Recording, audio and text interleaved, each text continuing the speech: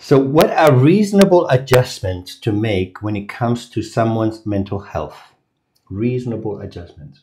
Okay, so we're talking about a workplace setting and where a manager needs to uh, adjust to accommodate someone who might be going through something challenging.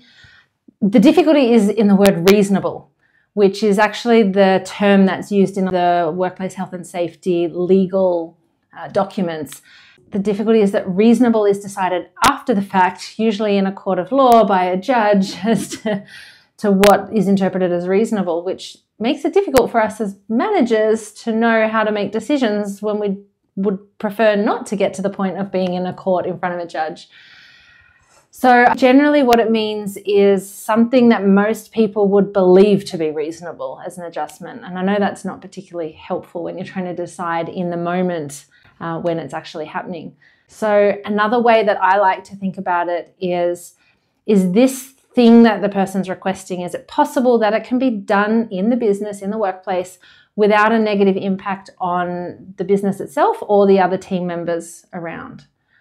So, for example, in some roles, it might be reasonable to adjust someone's working hours so that they start and finish a little bit later each day.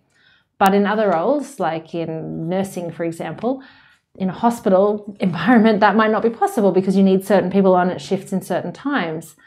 In some roles, it might be possible to swap around tasks between members of the team, but in other situations, that wouldn't be doable. So there's no sort of hard and fast, this is reasonable, this isn't. It's very much about using your judgment as a manager.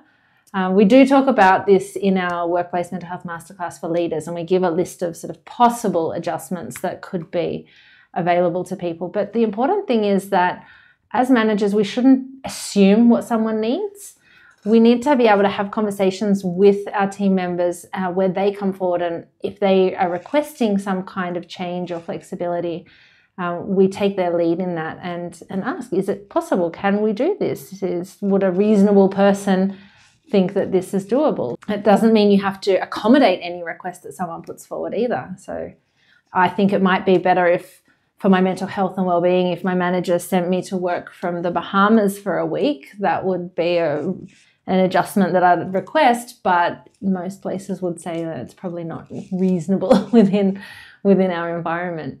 In short, it's a judgment call. Speak to your superior if you're not sure, speak to HR, get legal advice, and go from there.